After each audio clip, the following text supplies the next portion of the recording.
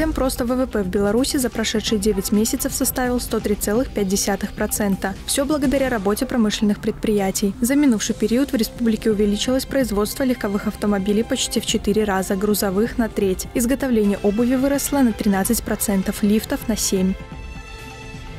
В Беларуси с 2025 планируют ввести единый имущественный платеж. Это будет налог на транспорт, недвижимость и землю. Сбор на прибыль вырастет до 25% при получении доходов свыше 25 миллионов рублей. Еще одно изменение – увеличение платежа у владельцев автомобилей класса люкс, с года выпуска которых прошло не более трех лет.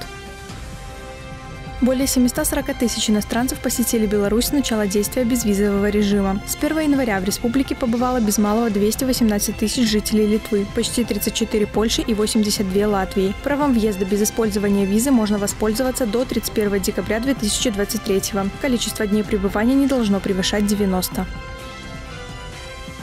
За 9 месяцев текущего года средняя зарплата в Бобруйске 1480 рублей. В августе в экономике города участвовало почти 82 тысячи человек. Уровень зарегистрированной безработицы на конец сентября всего 0,2%. Реальная заработная плата за этот отрезок времени увеличилась на 12,5% в сравнении с таким же периодом 2022 Комитет государственного контроля проведет горячую линию на тему качества хлеба до 26 октября. Сообщить напрямую можно о любых недостатках, например, ненадлежащих условиях хранения или сроках реализации, на особом контроле обеспечения населенных пунктов. Жалобы и предложения можно озвучить по номеру 191 с 10 до 17.30.